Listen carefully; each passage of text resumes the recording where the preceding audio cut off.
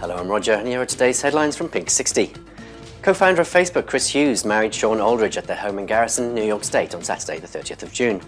Hughes, 28, co-founded Facebook with college friend Mark Zuckerberg, who attended Saturday's wedding with his newlywed wife, Priscilla Chan. In a speech introducing the new socialist government's five-year plan, French Prime Minister Jean-Marc announced in Parliament yesterday that by this time next year, gay couples would be able to marry and adopt children with equal rights to straight couples. Barack Obama has made history with his public support of gay marriage, the first sitting US president ever to do so.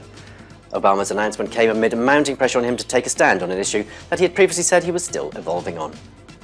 A joint statement from the World Pride organisers and city bosses has made clear the event this Saturday, the 7th of July, will not be restored to its original format. Organisers had to scale back the 7th of July event in London just last week. And finally, South Korean transgender pop star Harisu is back with a new single after six years. The new single, Shopping Girl, is released on the 9th of July and a 10 track album will follow. That's all from us today. Join us again tomorrow.